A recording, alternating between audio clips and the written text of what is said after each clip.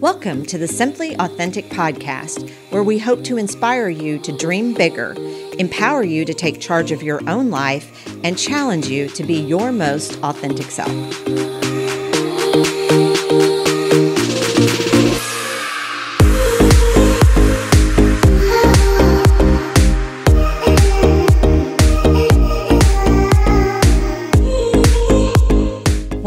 To the Simply Authentic podcast. I'm Angie Mullings. And I'm Tanya Murfin. So, we are focusing on women's health, and one of the topics that you don't really hear talked about very often is infertility. And we have a guest in the studio today. Her name is Angela Crawford, and she's going to tell you all about her experience with infertility here in a little bit. I'm first going to read a definition of infertility given to me by the CDC.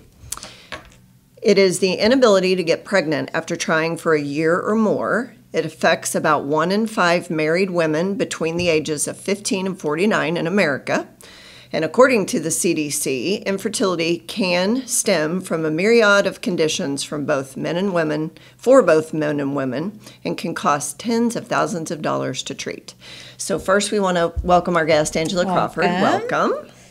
And Angela, we're going to start out just by you telling us a little bit about yourself, your background, and what you do for a living and so forth. And then will you get into your story of your own infertility experience? Sure. Uh, my name is Angela Crawford. I am 38 years old. I am a senior financial analyst at Expedia.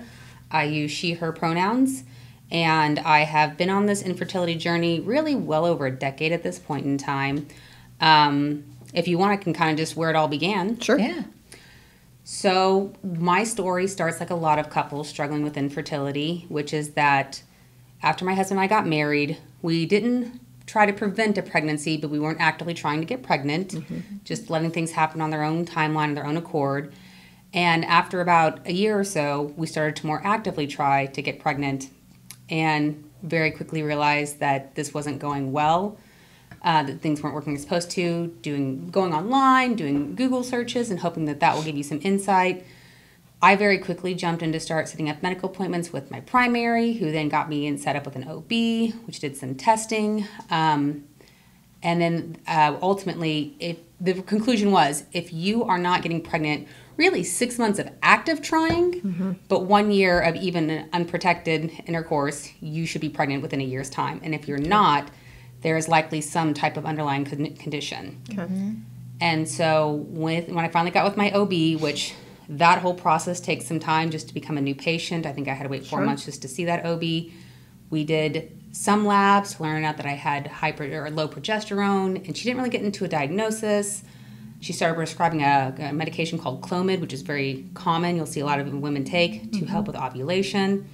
And it did help put certain levels where they were supposed to any given month, but still no pregnancy. And you just get that very narrow window any given month to mm-hmm. when to try to mm-hmm. become pregnant. Mm-hmm. So after a couple months of that failure, we also went on ahead and did some testing with my husband because male factor is also Sure. pretty prevalent. Yes. You'll see statistics vary. 20 to 40 percent ish is what you'll see. com- Uh, the, the the underlying issue is actually male factor. Right. And even though my husband, which it took, again took a while to line up to get him in with the urologist, even though he went in with the concern of like we want to make sure there's no issues, his conclusion was kind of just like, eh, take some vitamin D, and just there wasn't a lot of attempt to solve a problem that when we knew there was one. The longer this went on, um, ultimately, I had im- benefits through my employer, which not in all health insurances have this in their plan, that would cover IVF and infertility benefits because they are very costly. Yeah. And as a result, it very much handcuffed me to my employer to retain those benefits mm-hmm. while I was undergoing this treatment. Sure. And that also resulted in me having to meet up with a reproductive endocrinologist, which there are none here in Springfield. You are going to travel to Kansas City, Columbia, Tulsa, or in my case, St. Louis to find yourself a reproductive endocrinologist, which is what I did. At this point in time, I'm two plus years into this, actively trying to get pregnant. Do not have any answers. We've had various medications, various things we've tried, never really had a diagnosis, had labs, had things done, but we just nowhere. Once I met with my reproductive endocrinologist, and he did a much more extensive questionnaire on my background, my family history.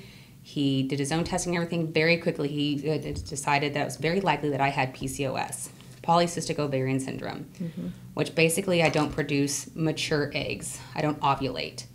And so what he was going to do was going to treat towards that as long as everything indicated that. He also, just as a precaution, um, did a dye test on my cervix and fallopian tubes to make sure there was no obstructions in my uterus, that everything was physiologically normal. Um, and then once he had that kind of ruled out or figured out, that's when we start, we started treatment accordingly, which began with IUIs, which is intrauterine inseminations. And after that, eventually, if we needed to, we could escalate to IVF, which is obviously the most expensive and invasive, but also the most successful uh, treatment, which is ultimately what we ended up doing. And so we made the decision to do IVF in October of 2015. I, And you were how far in at this point? this is right around that three year marker. Three year. Okay. Yeah, my husband and I were married in May of 2011. Okay. Okay. And so after about a year, May 2012 to October 2015, about three years in at that point, um, that was when at that point in time we pulled this, decided October.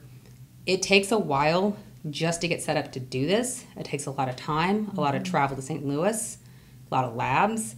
Um, we had to go through orientation. We had to learn about the different medications. They had to do additional testing on him. They decided that we actually did have a male factor at one some point in time, enough that they want to do a, a part of our protocol. Our IVF plan protocol would include a procedure called ICSI, which is intracytoplasmic sperm injection. Basically, they manually fertilize the eggs. Got it. Um, and so all this from October, I got my positive pregnancy the Friday before Mother's Day weekend. So it was about a seven month process from the moment we decided to the moment that we actually had our first positive pregnancy. So none of this is a fast process. No. Mm-hmm. Yeah. And everything went great and fine. And January of 2017, brought home daughter, and then went back for an embryo transfer. Another um, because we had multiple embryos, mm-hmm. successfully transferred, and had my son March 2019. And we still have 11 frozen embryos that we will have to make a choice of what to do with those at some point in time. But right now, they're just cryopreserved. Yeah. Got it. Yeah. Wow, that's a lot. it's a lot. it's a lot. And I, it brings up so many questions. I mean, it, like you said, it's not a fast process. So, you you basically weren't, if I understand correctly, you weren't getting a lot of direction from the medical community. You were doing a lot of research on your own, trying to figure out what the next steps were. So, you took a lot of this on yourself um, to try and get to an answer. And I think that we've we talked to uh, in the podcast to several different people about. Uh, I don't. I don't want to slam our medical community, but I just want to say it, you have to be your own advocate. We've said that before in the podcast. Just it doesn't matter what the problem is. You you have to become your own advocate. You started this process ten years ago. Do you know if it's any easier today? If there's uh, advancement being made in terms of trying to figure out the root underlying problems and and that kind of thing. The answer is yes and no, depending on kind of how you break down that topic. So, in terms of the technology, there is more testing, there is more um, communication, there is more community. So, there is mm-hmm. more to kind of give you not just to advocate, but how to advocate, what to mm-hmm. ask. So, that very much exists. As far as the barriers and as far as accessing that medical care, it's gotten worse in a lot of ways um, because it is specialized care. And also. Um, the cost of it is uh, by and large not covered through insurance. So it's coming out of your own pocket. Right. so and the the gatekeeping is just as as far as getting to the medicine the advanced medicine the it's called art advanced reproductive technology. That is as inaccessible as it's ever been. But having the tools to have resources and community and knowledge and learning there's a lot more there than there was for me which i'm very grateful for Yeah. Yeah. Yeah. How unusual do you think it is that your insurance company carried a policy on this? It's more in common than what I care to think about um, because I have to work for a large corporate employer. And so Right.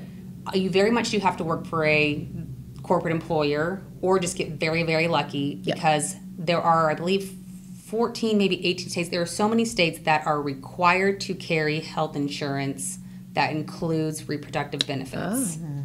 And so typically, if a, a company is either headquartered or even I think operates in those states, mm-hmm. their plans have to include that. Okay. Oh. Got it. So Well, typically, if you're to know. working, yeah, if you're Yeah. working for a national organization, Yeah. chances are they will have something for you. Although they could always find ways around it where they incorporate in a state where they don't have to, but Sure. that's Right. going to be your best bet to be able to get the have those benefits. Yeah. So, in your opinion, you going through your history and all the steps you had to take, and a lot of it, as we've talked about, is self discovery or was self discovery, and you just, you know, trying to find out as much information as quickly as you could. What would your first and second step be for the person who has now tried to get pregnant for about a year and unsuccessful? What would you tell a friend? The thing I tell a friend, the thing I tell anyone, whether you're trying to conceive or not, is if any person with a uterus, you need to start, if you do not have a benign 28 day cycle that is uneventful, mm-hmm. talk to your doctor. If you have painful cycles, if you have heavy cycles, if you have irregular cycles, if you have anything abnormal, and there's every chance you will get hand waved away that this is fine, it's normal. Mm-hmm. Probably not. There is certain testing they can do because some people have, girls have um, diminished ovarian reserve where they become menopausal a lot younger than what they should. And that's a very hard thing to overcome versus some of the other conditions where the treatments exist for it. And so, step one is if you do not have a regular cycle and there's something that's not influencing it to be abnormal, talk to your doctor. After that is to find your community um, because I did this all alone. It was mm-hmm. very isolating. It was very mm-hmm. hard on my mental health. I don't think I've ever been as low as what I was during that time. Mm-hmm. And so I have, as a result, started a support group. And just to give people the benefit of my experiences on who to go to, what to ask, I can't tell you how to get there, but I can give you the resources to start having conversations that Yeah. I had no idea even how to like. I didn't even know what the conversations were. Right. Yeah, I love that you've used the word community two or three times because I I can't even begin to imagine how isolating it would be and just the fact that you're not a medical professional, but you are creating community for others because sometimes we the best source of information is just from someone who's been through it. At, at the very least, just having sort of a, a sh- uh, you know somebody to compare notes with and um, and get in a circle of people who maybe have had different experiences, um, just to support each other. Yeah, that's a big deal. it really is. Tell us a little more about your emotional health during this, and at what point did you realize the toll that it was taking on you and your husband? Oh, I mean, I think it's I'm still taking a toll on me. Sure. I definitely think that to this day, it's still a cornerstone of everything I do comes from this foundation that happened during this time. Um, because in addition to just not having any knowledge, not having any, not having any control, and that's such a foreign Yeah. concept. Yep. Mm-hmm. Because I can control, you really can control almost anything in your life. You can control your finances. You can, to some degree, control things like your weight or your health or your whatever. Mm-hmm. Some of it's much harder to obtain than others, but there are things that you can do to influence and control that. Mm-hmm. There is very, very, very little, if anything, that I could do to control my body's ability to get pregnant because it just hormonally wasn't correct. Yeah. And so as a result, I did the very unhealthy thing, which was to completely ignore and repress and push those emotions inside and focus on what I could control, which maybe was healthy. And I worked very hard on my education. I completed my bachelor's. I graduated with honors. I was working full time while going to school full time or near full time. And so, because that was something I could control and have a mm-hmm. control in the outcome, was not only finish school but finish and do well at it. So, I was able to mm-hmm. graduate with my bachelor's in business administration from Drury University, and that went well. Honestly, when that ended, it kind of left me lost. I didn't know where to go next or what to do next. I didn't have anything to pour that energy into because I was still mm-hmm. just mm-hmm. dealing with a small window of time for treatments in a given uh, cycle. And so my mental health just cratered. Plus, I'm also taking hormones to. Oh yeah. Yeah, I mean, you're Yeah. already not Massive in a good dose. headspace. Yeah. Yeah. So let's just pour more chemicals onto your yes, brain. Yeah. exactly. And you can't have other chemicals poured on your brain because you may become pregnant at any point in time. So you can't mm-hmm. have Right. any type of anxiety or depression meds and Right. things like that. That's out as well too. Yeah. So your ability to try to keep your brain chemistry in line is worse than it's ever been. Mm-hmm. And yes, I did go and have I did some therapy sessions, and that did help as far as the catharsis of being able to vomit all my emotions and my feelings. Yes. But it definitely there was a point, uh, a low. Um, I had a, a niece that was born, and she is the light of my life now. But at the time, it was very hard for me to go see my niece mm-hmm. after she was born, and it was very important to the rest of my family that I be there for her, regardless of what it would do to me. Mm-hmm. And the end result was me crying in a bathroom, catatonic, not able to function, and then deciding that I thought I could walk home from Nixa to Springfield in the middle of the night in a cold evening in April, barefoot. Mm. Didn't get very far, had to be put in a car and taken home, but it was just very, very hard to have this thing forever out of reach and being told so many times by so many people, well, we can be sad for you, but you need to be happy for them. Mm-hmm. Mm-hmm. I didn't have that in me. Mm-hmm. I would much rather have been left to be a sad, lonely, wretched person in my own space. Like, let me go live under my bridge and be a troll. Don't try to make me come out into sunlight because it's not going to work. That's even harder on me. So, try to respect that space and that boundary. And again, I didn't even know how to articulate this at the time, other than I just couldn't say, "This is really hard. I can't do this. Is really hard for me to do." Yeah. But a lot of that just got hand waved away, and so I've really worked hard to make sure that when people do reach out to me, that they get that permission that I never had, that it's actually okay to be a, a wretched person. It is actually, you are not your best, best self right now. You don't have to be your best self. Yeah. Mm-hmm. So just take care of yourself and don't worry about anyone else. Right. Self care is important in it is. any scope of our lives, but when you're going through something very traumatic on your mental health, on your physical health, it is so important to keep self care in mind. Mm-hmm. Tell us a little more about your support group and what it's called, how someone could find it, and what that's done for you and the community now that's revolving in that. That is one of my silver linings because, as I think was clear, uh, this was the most painful time and period in my life. And for me, I needed as much good as possible to come from such a painful time. And a lot of people say, well, weren't your kids all worth it? There's no worth or value that you assign. They are, they are priceless. Yes. Right. Completely. But I do want there to be value in those experiences. Mm-hmm. And so I, after my daughter was born, before I had my son, I had was working for someone that had also gone through IVF, and she had said she was in a support group, and I thought I want to do that. Mm-hmm. I would like to give to people that a resource that I didn't have. Yeah. Mm-hmm. And so I went looking, and uh, Resolve, resolve.org is the infertility organization. Nationally, they advocate for access to reproductive uh, care for infertility and all that encompasses. They're the ones going to tell you which states offer benefits, what that looks like. They can talk about like different types of treatments, uh, scholarships, different ways to pay for it. Anyway, they also have peer led support groups, and you can sponsor and start a peer led support group. So I went that process, went through what they wanted to for me to do a peer led support group. And so the third Wednesday of every single month at the Library Center here in Springfield, I have a support group from 7 p.m. to 9 p.m. Although June is going to be kicked out a week because that falls on Juneteenth and the library is closed on Juneteenth, so it'll be the following week. We just figured that out today. Okay. Um, and it has been, I didn't expect for it to heal me. I expected it to be able to help others out so that they could mm-hmm. just not suffer in the same way that I did or feel as alone as what I did. Mm-hmm. Mm-hmm.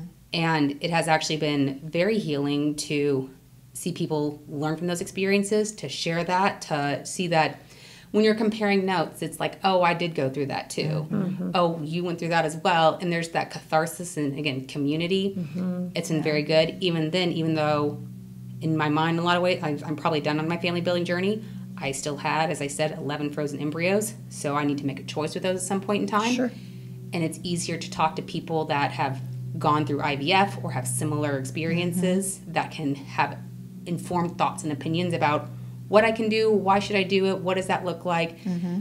And it's a much better sounding board than trying to talk to someone who has they just don't even have like the zero starting point that I need them to. You don't have to educate. I don't want to educate you and then ask your opinion. Right. Right. Yeah. Yeah. So it's been very helpful. that, that's amazing. Yeah. That's awesome. You go ahead, Angie. Well, n- no, go ahead. Did you have something well, else I on was that going line? to lead into the you. This whole experience led you into being a spokesperson for Cox Medical Center, Mm-hmm. and also you being involved in other articles that have written been written. So tell us about that and how you how you fell if you fell into that, what that has meant to your journey and and being able to be that spokesperson. It it's interesting because I don't care about fame or notoriety or not having fame or notoriety. Like I'm happy to be put on a pedestal. I'm also happy to exist in my own quiet space. Um, and the reason that I started talking about this is because no one else was talking about this. Right. And as you talk about it and you become visible and you get that platform, that's when people start to reach out to you, whether it's through learning about seeing your contact email, your contact information. And in Cox's case, you know, as I went, especially when I went back for the embryo transfer for my son, it was a lot easier because they'd started to build that relationship so that I could do any labs. By and large, I could do them in Springfield and really only had to go up to St. Louis for the transfer. And so that made it a lot easier because when I went through IVF, I kind of omitted this detail. I had to drive back and forth from St. Louis every other day for about three weeks. Mm-hmm. Good grief. Mm-hmm. And I was working at the time Right. too. Yeah. Mm-hmm. And just and taking all these additional hormone shots. Right. I mean Yeah. the the cannot stress like how level of barely functioning you are when that's all going on. Yeah. And so at one point in time, Cox reached out and said, "Hey, we're trying to promote and show our services to that we have this partnership now with Washington University, which is who I went to, um, where we can do telehealth visits and everything else." And just kind of asked if I want to do a little interview, do a little video, my cute little newborn son. Perfect. Happy to be your poster child to make people aware that this service and this partnership ex- exists, so people like me don't have to do round trips, St. trips to St. Louis for a blood draw most of the time. No kidding. Right. Yeah. Yeah. That seems so simple Yeah. to have to drive three hours, but you know, um, and I think that's a really important point to make is that you've got two big health industry or um, corporations willing to work together and not mm-hmm. making it all about them, but really more making it about you to be able to have a televisit. And I know that that's more and more becoming a little more and More more, frequent yeah. and prominent these days. But what a great relationship that you can now speak to mm-hmm. that will help future women and men having to deal with this. It was really nice too because when my son was born, my reproductive endocrinologist based in St. Louis was in Springfield and was able to come visit us when he was oh. born because he was meeting with my OBGYN Nice. Mm-hmm. for consulting with patients, whatever it is that they do. But he was in the hospital at the time. And so when we were in the hospital and recovering the next day after he was born, he was able to come and see us. And That's that was super cool. really Yes. nice. Yeah. Yeah. Yeah. Yeah. Yeah. Kind of a bow. Yeah. Put a bow on that. exactly how far we've exactly come. yeah Yeah. Yes. yeah i think we were talking before the podcast started about um, is it is it that we're hearing more about people having this um, challenge is it just that we're becoming more open about having those conversations because uh, I honestly I, I have a couple of friends whose daughters have gone through this. I can't say that up until that time I knew anybody who had. So uh, I, I first of all I want to thank you for sharing your message and your story because we do have to make sure that we are tackling these tough topics and making sure that we are sharing experiences and I know it takes a lot to do that so thank you for doing Yeah. that and Absolutely. for having your um, support group and, and being a resource for people. Um, and I thought it was interesting that you said that that there was healing for you to be done um, through that, which is what often happens, right? We we set out to do one thing, and and the side effect of that is that it ends up helping us. Mm-hmm. It becomes a lot more about the journey than the destination. Mm-hmm. Yes, for sure. Yeah, that's Yeah. awesome. Yeah.